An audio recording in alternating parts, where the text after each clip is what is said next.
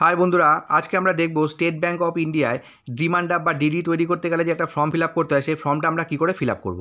তো আমরা যেহেতু আজকে ডিডিটা তৈরি করব একটা চেকের দ্বারা, তো আমরা একটা চেক ওর সাথে ফিল আপ দেখব।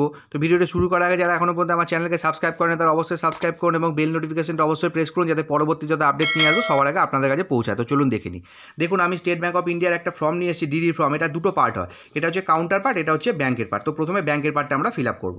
ব্যাঙ্কের পার্টে প্রথমে আছে ব্রাঞ্চ যে ব্রাঞ্চে আমার অ্যাকাউন্ট আছে এসবিআই সেই ব্রাঞ্চের নাম এখানে লিখব। তারপরে দেখুন এখানে লেখা আছে please issue a demand up issue করব না ব্যাঙ্কার চেক ইস্যু করব? তো আমি ডিমান্ড আপ ইস্যু করব, আমি ডিমান্ড আপে টিক করেছি। আপনারা যদি ব্যাঙ্কার চেক ইস্যু করেন, তাহলে এখানে টিক করবেন। এই দুটোর মধ্যে ডিফারেন্স হচ্ছে, আপনারা যদি লোকালে জমা করেন, তাহলে ব্যাঙ্কার চেক আর আপনারা যদি বাইরে কোথাও নিয়ে যান ডিডিটা তৈরি করে তাহলে সেটা ডিমান্ড ড্রাফট বা ডিডি তৈরি হয়। তো আচ্ছা এরপরে হচ্ছে এখানে ডেট যে ডেটে আমি ডিডিটা তৈরি করব, আমি সেই ডেটটা এখানে লিখব। আচ্ছা তারপর হচ্ছে এগেনস্ট আমাকে জিজ্ঞেস করছে মানে ক্যাশে করব চেকে করব না ডেবিট মাই অ্যাকাউন্ট তো আমি চেকে করব জন্য টেক চেকে ঠিক করেছি। সাধারণত এখন ক্যাশে ডিডি করতে দেয় না। যদি দেয়, তাহলে আপনারা ক্যাশে এখানে ঠিক করবেন। আচ্ছা এরপর হচ্ছে পেয়ার্স নেম আমি কার নামে ডিডিটা তৈরি করতে চাই? তো আমি আপনাদের দেখানোর জন্য এখানে ইউনিভার্সিটি অফ ক্যালকাটা লিখেছি। আপনারা যার নামে ডিডিটা তৈরি করবেন, তার নামটা এখানে পরিষ্কার করে ক্যাপিটালে লিখবেন। আচ্ছা তারপর হচ্ছে অ্যামাউন্ট মানে অ্যামাউন্ট হচ্ছে আপনার কত টাকা ডিডিটা তৈরি করবেন? মানে ডিডি অ্যামাউন্ট তো আমি আপনাদের দেখানোর জন্য পনেরো হাজার টাকা ডিটির অ্যামাউন্ট লিখেছি। তো আমি এখানে ফিফটিন থাউজেন্ড অনলি লিখেছি। আর এখানে যে বক্সটা আছে অ্যামাউন্টের বক্সটা এখানে আমি নাম্বারে বা ফিগারে পনেরো হাজার টাকা লিখেছি। আপনারা যত টাকা ডিডি তৈরি করবেন, সেই টাকাটা আপনারা এখানে নাম্বারে বা ফিগারে লিখবেন এবং এখানে ওয়ার্ডে লিখে দেবেন।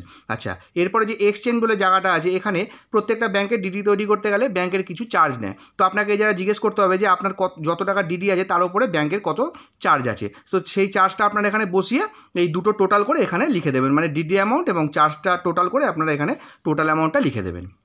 আচ্ছা এরপরে যে পেবেল অ্যাড তো পেবেল অ্যাড বলতে মানে আমি ডিডিটা কোথায় জমা করব সেই জায়গাটার নাম। তো আমি যেহেতু ইউনিভার্সিটি অফ ক্যালকাটা লিখেছি ক্যালকাটা ইউনিভার্সিটি কলকাতাতে, তো সেই জায়গাটার নামে আমি কলকাতা লিখেছি। আপনাদের যে জায়গাটা জমা করবেন সেই জায়গার নামটা আপনারা এখানে লিখবেন।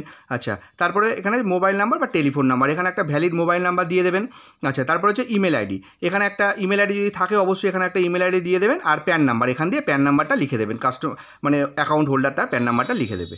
আচ্ছা এরপরে হচ্ছে name and address of applicant মানে অ্যাকাউন্ট হোল্ডার তার নামটা লিখবে ক্যাপিটাল এবং নিজ দিয়ে তার অ্যাড্রেসটা লিখে দেবে। আচ্ছা এইটুকু হয়ে যাওয়ার পরে এখানে হচ্ছে সিগনেচার অফ অ্যাপ্লিকেন্ট অ্যাপ্লিকেন্টে মানে অ্যাপ্লিকেন্ট এখানে একটা সাইন করবে মানে অ্যাকাউন্ট হোল্ডার এখানে একটা সাইন করে দেবে। তো এইটুকু হয়ে গেল। এরপরে দেখুন লেখা আছে ফর ব্রাঞ্চ ইউজ অনলি তো এখানে আমরা আর কিছু করব না, এটুকু ছেড়ে দেবো। এইটুকু কমপ্লিট হওয়ার পরে এখানে দেখুন মানে ক্যাশের পার্টিকুলার্স লেখার জায়গা আছে। যদি আপনাকে ক্যাশে ডিডি বানাতে দেয়, তাহলে এই যে টোটাল অ্যামাউন্টটা মানে ডিডি অ্যামাউন্ট প্লাস আপনার যে কমিশনটা নিয়ে যে টোটাল অ্যামাউন্ট হবে, সেই টাকাটা আপনি কীভাবে দেবেন? মানে দু হাজার টাকার নোট কটা, পাঁচশো টাকার নোট কটা, একশো টাকার নোট কটা, এইভাবে আপনারা ভেঙে ভেঙে লিখে এখানে টোটালটা লিখে দেবেন। তো এটা আমার ব্যাংকের পার্টটা ফিল আপ হয়ে গেল। এবার আমরা দেখব কাউন্টার পার্টটা কাউন্টার পার্টে প্রথমে আছে ব্রাঞ্চ আমার যে ব্রাঞ্চে অ্যাকাউন্ট আছে সেই ব্রাঞ্চের নাম লিখব। তারপরে এখানে ডিডি না ব্যাংকার চেক তো আমি ডিডি বানাচ্ছি ডিডিতে টিক করেছি। এখানে ডেটটা লিখে দেবো সেম ডেট লিখব। তারপরে নেম অফ অ্যাপ্লিকেন্ট অ্যাকাউন্ট হোল্ডারের নামটা আমরা এখানে লিখে দেবো। তারপর হচ্ছে পেয়ার্স নেম কার নামে ডিডিটা তৈরি করছি। তো আমি ইউনিভার্সিটি অফ ক্যালকাটা লিখেছি এবং ব্র্যাকেটে জায়গাটার নাম লিখে দিয়েছি মানে কলকাতা। আপনারা যার নামে তৈরি করবেন, তার নামটা এখানে ক্যাপিটালে লিখবেন এবং ব্র্যাকেটে কোথায় জমা করবেন সেই জায়গাটার নামও আপনারা এখানে লিখে দেবেন। আচ্ছা তারপরে হচ্ছে অ্যামাউন্ট কত টাকা ডিডি তৈরি করব? তো আমি পনেরো হাজার আপনাদের দেখানোর জন্য পনেরো হাজারে করছি। আমি পনেরো হাজার টাকা লিখেছি এবং এখানে এক্সচেঞ্জ যেটা আপনি এইখানে লিখবেন, সেই টাকাটা আপনাকে এখানেও লিখতে হবে মানে যেটা চার্জ নেবে, লিখে টোটাল করে এখানে দুটো যোগ করে এখানে টোটালটা লিখে দেবেন। তারপর হচ্ছে অ্যামাউন্ট ইন ওয়ার্ড তো এই যে অ্যামাউন্টটা এটা আমি যে যে টাকার ডিডি তৈরি করছি, সেই অ্যামাউন্টটাই লিখব। মানে আমি যেহেতু পনেরো হাজার টাকা করছি, তো আমি ফিফটিন থাউজেন্ড অনলি লিখেছি। আপনারা যত টাকা ডিডি তৈরি করবেন, শুধু ডিডি অ্যামাউন্টটাই এখানে লিখবেন ওয়ার্ডে তো মোটামুটি আপনার এসবিআই ব্যাংকের ডিডির ফর্ম ফিল আপ হয়ে গেল। তো যেহেতু আমি ডিডিটা একটা চেক দিয়ে বানাবো, তো আমাকে এখানে একটা চেকও ফিল আপ করতে হবে। তো আমি আপনাদের দেখানোর জন্য একটা স্টেট ব্যাঙ্ক অফ ইন্ডিয়ার ডেমো চেক নিয়ে এসেছি। তো আমরা দেখে নিই চেকটা কী করে ফিল আপ করব। তো চেকের প্রথমে আছে দেখুন ডেট যে ডেটে আমি ডিডিটা বানাবো মানে আমি ভাউচারটা যে ডেটে ফিল আপ করব, সেই সেম ডেটই আমি এখানে দেবো। প্রথমে ডেট দেবো, তারপরে মাস দেবো, তারপরে বছর দেবো। আচ্ছা তারপরে দেখুন পে পেতে আমরা কী লিখব? পেতে আমি এখানে লিখেছি ইয়োর সেলফ অ্যাকাউন্ট ডিডি তো আমরা এইভাবেও লিখতে পারি ইয়োর সেলফ ফর ডিডি আর ডিডি বা ডিমান্ড আপ যে কোনো একটা লেখা যায়, কারণ ডিমান্ড আপে শর্ট ফর্ম ডিডি তো আপনারা ইয়োর সেলফ অ্যাকাউন্ট ডিডি বা ডিমান্ড আপ বা ইয়োর সেলফ ফর ডিডি বা ডিমান্ড আপ যেটা আপনাদের সুইটেবল মনে হবে সেটাই লিখবেন। দুটোর মধ্যে যে কোনো একটা লিখলে আপনাদের কাজ হয়ে যাবে। আচ্ছা তারপরে দেখুন এখানে একটা বক্স আছে।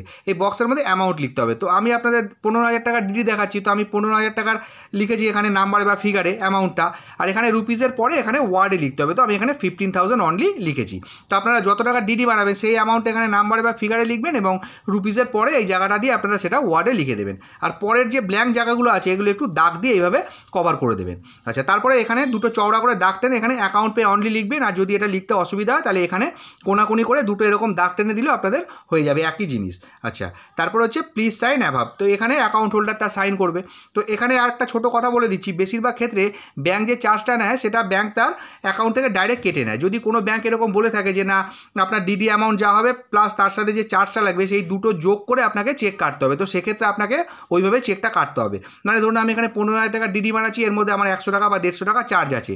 তো যদি ব্যাংক বলে যে চার্জটা আমাকে ইনক্লুড করে চেকটা দিতে হবে, তো আমি সেখানে পনেরো হাজার একশো বা পনেরো হাজার একশো পঞ্চাশ এইভাবে নাম্বারে বা ফিগারে লিখব এবং এখানে সেটা ওয়ার্ডে লিখে দেবো। তো এই জায়গাটা আপনারা একটু জিজ্ঞেস করে নেবেন ব্যাংকে তো আশা করি ভিডিওটি ভালো লেগেছে। এইটুকু করলে আপনাদের এসবিআই ব্যাংকের ডিডি হয়ে যাবে। যদি ভিডিওটি ভালো লেগে থাকে, অবশ্যই একটা লাইক করবেন শেয়ার করবেন, আর আমার চ্যানেলের সাথে থাকবেন। ধন্যবাদ।